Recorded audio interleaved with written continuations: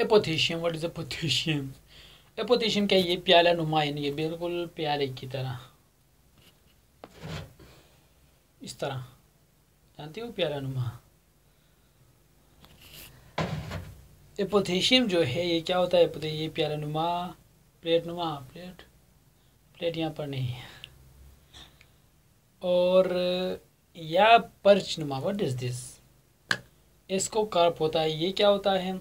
खुला होता है और इस कैविटी में क्या होता है? एस एक ही कतार की शक्ल में पैदा होते हैं और एस के साथ साथ कुछ हाई फ़ी भी वहाँ पर क्या होते होते हैं, जिनको हम पेरा फाइसर कहा जाता है। इनको हम पेराफाइसर कहते हैं।